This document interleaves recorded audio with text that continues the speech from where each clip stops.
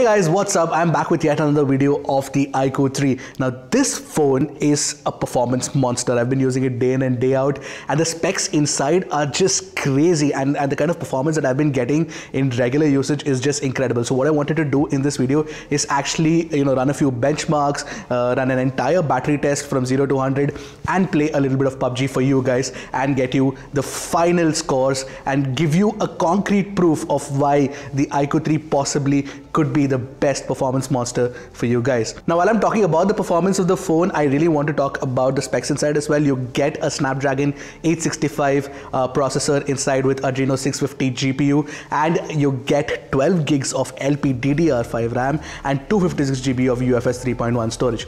This is possibly by far the best specs you can get on the market right now. So you know what, without wasting any more time, let's get down to our performance review of the new iQOO 3.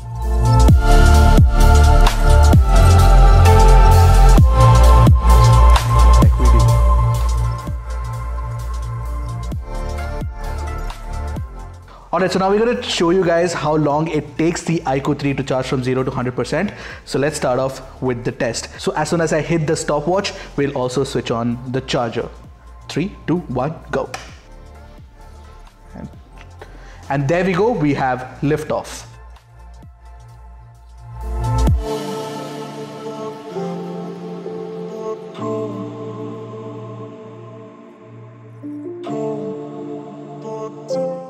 Alright, so now we have touched 15 minutes and the battery has charged up to 46%. So this is with screen on and I'm pretty sure that, uh, you know, if you keep screen off, then it will charge up to 50% in 15 minutes. Uh, so let's check how long it takes to charge up to 50% now.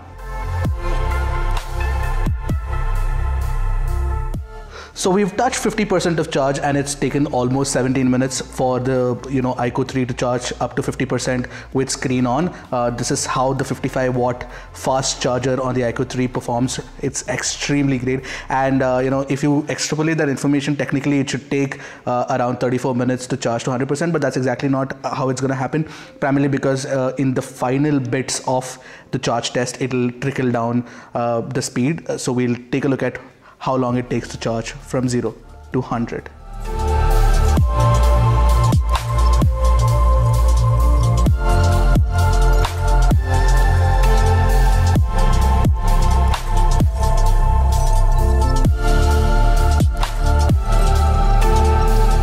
Alright, so the iQOO 3 charged from 0 to 100 overall in 52 minutes. But yes, of course, 50 minutes in 15%. So that's pretty great and that keeps up to brands claims as well.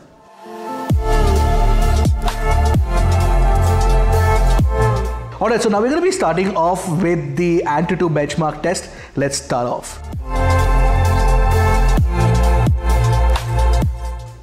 As you can see right now, the iQOO 3 is just crunching through all the frames and the crazy graphics performance. I haven't seen such kind of, uh, you know, speed with Antutu test.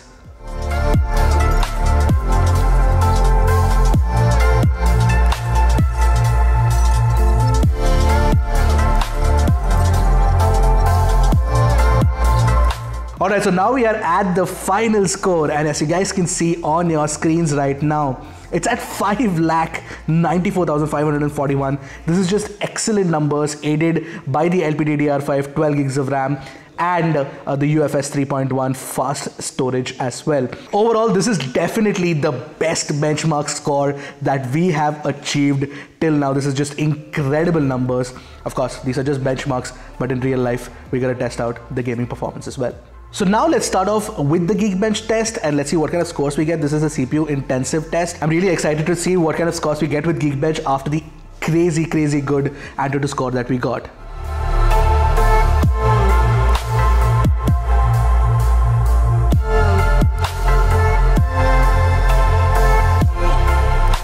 Alright, so we're done with the Geekbench test. The single core score is 922 and the multi-core score is 3337. This is just crazy numbers. In the end, I'll definitely show you guys how it compares against the scores of the Snapdragon 855 Plus, which was available on last year's flagship phones. This time around, looks like uh, Snapdragon 865 has a quantum leap in performance jump. Alright, so the final test we're going to be running is to test out the storage performance. Of course, this one, uh, the iQOO 3 has UFS 3.1 storage, so I'm expecting great read-write speeds of at least above 1500 and above 700. So let's just check that out. Alright, that was really fast and like I expected, the scores are excellent too. The sequential read speed is around 1742 and the write speed is a 725. Alright, so these are the best uh, you know scores you can find across any smartphone for storage performance. Uh, this should mean that you know write speeds to your disks and when you're copying files or when you're opening apps, all of that should be really fast on the iQOO 3.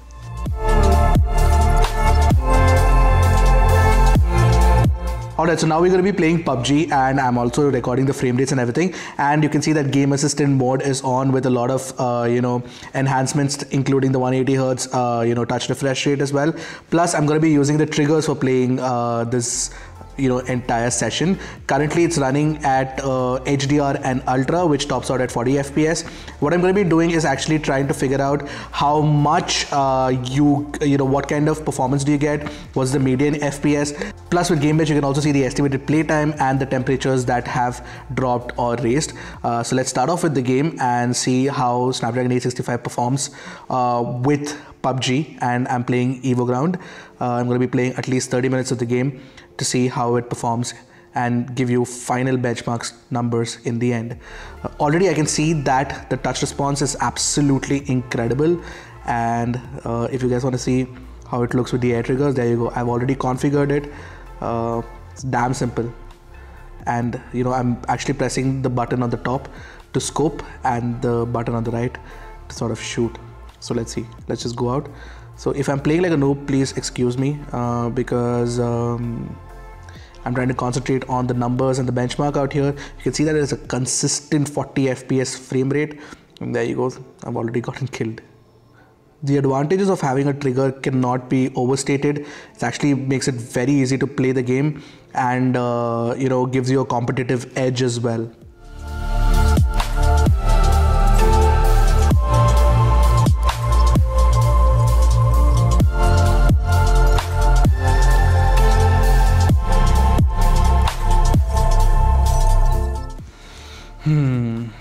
the first game is over, and as you can see, we got a consistent 40 FPS, uh, you know, frame rate. I'm going to start off the second game right now. Uh, at least during the game, obviously it's dropping frames right now, but uh, you know, during the game, you got a consistent 40 FPS frame rate, which is possibly what we're going to see uh, as the median FPS uh, in the final, uh, you know, score that we get out of Gamebench. It should be somewhere around 39 and 40 FPS.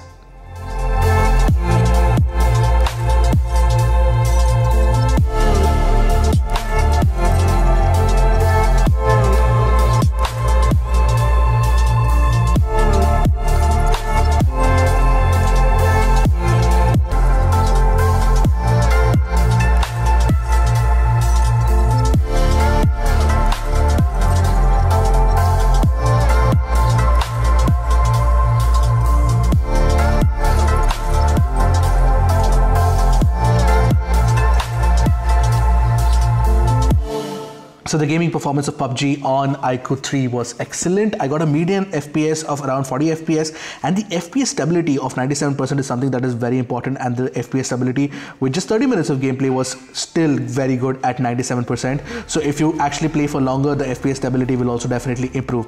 Now what's also very very good is the estimated playtime of 6 hours and 40 minutes that uh, you know the iQOO 3 can achieve. So apart from giving you possibly the best gaming experience on an Android smartphone with PUBG, you also get an estimated playtime of 6 hours 40 minutes so the battery life is going to be excellent as well you know what when i started the game uh, the battery temperature was around 35 degrees and the best thing about the iQOO 3 is that after the game ended after 30 minutes, the battery temperature just raised only 2 degrees more to 37 degrees Celsius. So which means that the thermal performance of the iQOO 3 is just excellent. Uh, this is something that once again I haven't noticed in a lot of even 855 plus phones. So from 35 degrees to 37 degrees only, uh, the temperature control is in check and the thermals are in check. Plus the battery performance is great. Plus you also get excellent FPS with great FPS stability as well. Alright, so we are at the end of the video. You guys saw the performance numbers on your screen.